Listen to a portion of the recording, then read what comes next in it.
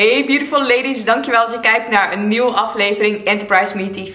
In deze aflevering laat ik je een food diary zien van een clean dag eten op reis. Ik weet dat jullie al heel lang een food diary hebben aangevraagd. Ik heb hem ook al een keer gefilmd van een hele week lang. Maar toen crashte mijn externe harde schijf en toen was ik alles kwijt. Tot nu toe heb ik nog geen goede gelegenheid gehad om het weer opnieuw te filmen. Zoals je misschien wel weet als je me op Instagram volgt zat ik vorige week in Londen. En ik zag weer in de comments van de winactie van vorige week voorbij komen. Food diary, food diary. Dus heb ik vrij spontaan mijn camera erbij gepakt. En ben ik gewoon gaan filmen wat ik aan het eten was. Aan het einde van deze video heb ik ook nog een mini shoplog voor je. Dus laten we snel beginnen. En ik ga meteen beginnen met een disclaimer. Want clean eten op reis is echt heel lastig. Daarom deed ik voor mezelf ook deze mini challenge. Je bent namelijk de hele dag onderweg, dus je hebt geen koelkast bij je. Je hebt geen eigen keuken waar je je eigen eten klaar kan maken. Concessies doen wordt daarmee bijna onvermijdelijk. Dus je gaat zeker dingen zien die ik normaliter thuis niet zou eten. Maar op dat moment is dat de beste optie die ik kan kiezen. Dus dan neem ik daar genoegen mee. Oké dan, we gaan beginnen. Het eerste wat ik doe als ik ochtends wakker word, is twee glazen water drinken. Dit doe ik thuis ook altijd, omdat als het goed is, heb je 8 uur geslapen en dan heb je dus ook 8 uur niet gedronken. Het is dus heel belangrijk dat je meteen als je wakker wordt, je lichaam wat vocht geeft. Daarnaast heb ik de blaas van een kuiken. Wat betekent dat als ik de hele tijd een klein beetje door de dag heen ga drinken, dat ik gewoon tien keer naar het toilet moet. Nou, je zal begrijpen als je een beetje aan het sightseeën bent en aan het rondlopen, dat er sowieso niet altijd een toilet is. Dus dan, weet je, dan, dat is gewoon lastig. Wat ik daarom probeer te doen, is ochtends zoveel mogelijk drinken, zodat ik daarna één of twee keer naar de wc moet. En daarna voor de rest van de dag klaar ben. En dan s'avonds bij het avondeten ga ik ook weer heel veel drinken. Het volgende wat ik doe is natuurlijk ontbijten. Toevallig had ik deze keer mijn ontbijt bij het hotel inbegrepen. Maar het was wel echt een heel karig ontbijt. Ze hadden wel croissantjes en chocoladebroodjes, toast. Nou, weet je, dat was het. Maar geen eens gebakken eieren. En dat is ja, eigenlijk wat ik altijd neem als ik een hotelontbijt heb en een beetje clean wil eten. Gelukkig hadden ze nog wel yoghurt en best lekkere muesli moet ik zeggen. Dus dat heb ik maar gewoon elke keer gegeten met wat fruit erbij. Na het ontbijt ga ik terug naar mijn hotelkamer en drink ik weer twee glazen water voordat ik ga douchen. En dan vlak voordat ik de hotelkamer uit moet, moet ik naar de wc en kan ik nog even op de hotelkamer. Hoe doen jullie dat trouwens als je in een hotel verblijft en je hebt een ontbijt inbegrepen? Ga je dan eerst ontbijten en jezelf klaarmaken, zoals ik dat doe? Of maak jezelf eerst klaar en ga je daar meteen ontbijten? Ik kan me wel voorstellen dat dat een ja, wat efficiëntere oplossing is, want daarna kan je meteen door. Maar ik vind het gewoon zelf niet zo heel relaxed. Ik ben benieuwd hoe jullie dat doen. Laat even weten in de comments. Wanneer ik gedoucht ben en helemaal klaar, dat betekent dus voor deze keer 10 lagen kleding, want Londen was echt, echt heel koud. Als je nog gaat, Neem heel veel dikke truien mee, zoals dit. Deze was heel warm. Dan ga ik op pad, maar dat betekent ook dat er tussen mijn ontbijt en het moment dat ik op pad ga, daar zit zeker ook anderhalf uur tot twee uur tussen. En dat betekent dat ik weer wat moet eten, wil ik niet hele erge honger krijgen. Toevallig zat er een Tesco tegenover ons hotel en kon ik daar terecht voor geroosterde bonen. Wie had dat gedacht? Bij een gewone Tesco supermarkt. Ik vind het echt top. Geroosterde bonen geven ook die crunch en smaak van noten. Dus geroosterde bonen, it is. Dat neem ik mee op pad. En dat ga ik eigenlijk ook meteen eventjes eten. Omdat zo'n zakje best wel groot is, kan ik daar meerdere dagen mee doen. En ik had toevallig een ziploc baggie bij me. Als jullie willen, kan ik ook een video maken over hoe ik mijn eten prep voor een vliegtuig. Want ik neem altijd eten mee. Maar ik weet niet of jullie dat boeiend vinden. Dus laat maar even weten in de comments of jullie dat zouden willen zien. De dagen hierna heb ik dus een handje van deze bonen gewoon in een ziploc baggie gestopt. In mijn tas en onderweg gewoon als snack gegeten. Op dat moment dat ik dus en heb ontbeten en een snack op heb. Kan ik zeker 2-3 uur verder zonder honger te krijgen. Het volgende eetmoment is natuurlijk de lunch.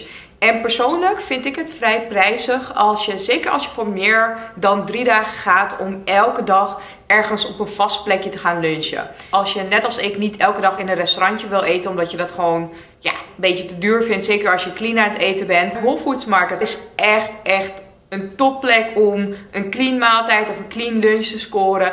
En gewoon heel veel nieuwe dingen te ontdekken. Je ziet ook in mijn shoplog wat voor andere dingen ik daar heb geshopt. Wat ik daar heb gescoord voor de lunch is ook een concessie. Ik heb speldcrackers genomen, want speld is net iets beter voor je dan tarwe. En dit heb ik gecombineerd met avocado hummus voor de eiwitten. Zodat je toch wel een volwaardige soort van lunch hebt, want je mist de groenten. Maar daar kom ik zo meteen op terug. Als de tijd tussen de lunch en het avondeten te lang was, heb ik ook nog een middagsnack genomen. En ik heb daarvoor een dadelreepje gescoord bij de Whole Foods Market. En ook nog een zakje popcorn. Maar wat mij ook heel vaak op een citytrip gebeurt, is dat mijn lunch ergens rond 4 uur, 5 uur valt. En dat ik daarna weer ga avondeten rond 7 uur, 8 uur. Dus dan is een middagsnack niet echt nodig. Voor het avondeten heb ik wel elke dag in een restaurant gegeten. En wil je dan clean eten, is het echt noodzakelijk om van tevoren wat onderzoek te doen. Dit zijn gegrilde groenten. Dit was echt mega lekker. En hier deed ik ook een kleine concessie omdat ik niet zo streng was. Ik heb de drie aardappeltjes die erin zaten, heb ik gewoon opgegeten terwijl ik dat normaliter niet zou eten. Dit was de Food Diary. Ik hoop dat je er al iets aan hebt gehad. En dan ga ik je nu even snel laten zien wat ik allemaal heb geshopt. In Londen heb ik niet veel geshopt. En ik ga meteen beginnen met het allerleukste, want dat moet ik altijd kopen als ik in Londen ben. En dat zijn Lush dingen. Ik heb zes producten gehaald voor in bad. Linksbovenin zie je echt een winterse bathmelt. Dit is Melting Snowman. En daarnaast zie je Cinders, die ik op twee losse gelegenheden heb gehaald. Ik had namelijk twee keer bij Lush geshopt. En de tweede keer heb ik de cinders ook weer gehaald. Niet wetende dat ik hem al een keer eerder heb gehaald. Blijkbaar vind ik die dus echt helemaal de bom. Links onderin zie je Twilight. En dit is een Bath Ballistic. Daarna zie je Luxury Lush Pud. En dit is een Bath Bomb. En tenslotte zie je nog een Bath Bomb. Dit is Father Christmas. Ik ben zelf wel een persoon die heel erg houdt van warme geuren. Dus bijvoorbeeld amber. Amber is een van mijn lievelingsgeuren. Kaneel.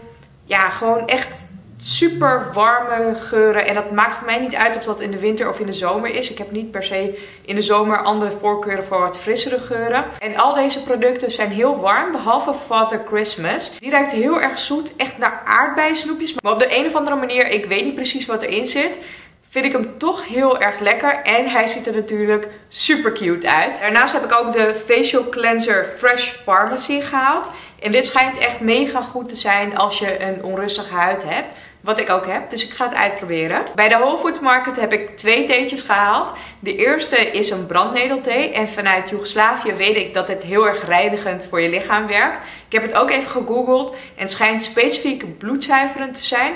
Maar over het algemeen gewoon heel reinigend voor je lichaam. En de tweede thee is een thee waar ik sowieso helemaal gek op ben en dat is tulsi thee. Tulsi thee is heilige basilicum, wordt heel veel in India gebruikt en het schijnt dat het een positief effect heeft op het verlagen van het stresshormoon. Ik gebruik het al heel lang, het heeft me super erg geholpen met het reguleren van mijn bloedsuikerspiegel toen ik stopte met het eten van suiker. En nu heb ik hem gehaald met chai spices. Mm, twee super random items die ik heb geshopt zijn de adventkalenders voor mijn nichtjes.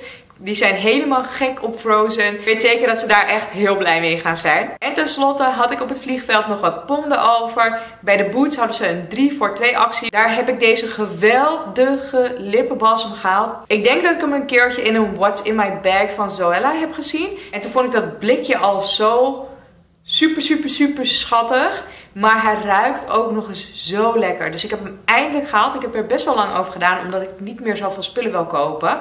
En daarnaast heb ik ook dit blikje Nivea gehaald, omdat ik geen handcrème heb in mijn tas. En dit blikje is eigenlijk gewoon overal goed voor. Het derde item en meteen ook het laatste item van deze shoplog is deze face wash van Simple. Ik zag staan UK's number one brand en ik dacht dat moet ik proberen. Daarmee zijn we alweer aan het einde gekomen van deze aflevering. Dit was de Clean Food Diary op reis en een mini shoplog uit Londen. Vind je deze video leuk? Steek dan een duimpje omhoog. En abonneer je zeker op mijn kanaal voor het geval je dat nog niet hebt gedaan. Want volgende week ga ik praten over de eenjarige verjaardag van Enterprise Me TV en feminisme en dat soort dingen. Abonneer je daarom snel op mijn kanaal. En als je dat al hebt gedaan, dan zie ik je volgende week bij onze chill date. Dankjewel voor het kijken. Kan je ze ook kleiner maken natuurlijk. Dit is niet mijn favoriete werkje, want je bent er wel even mee bezig. Ik deed dit vroeger zelf altijd op school. Dat vond ik altijd zo knuts voor Sinterklaas. En dit is ook super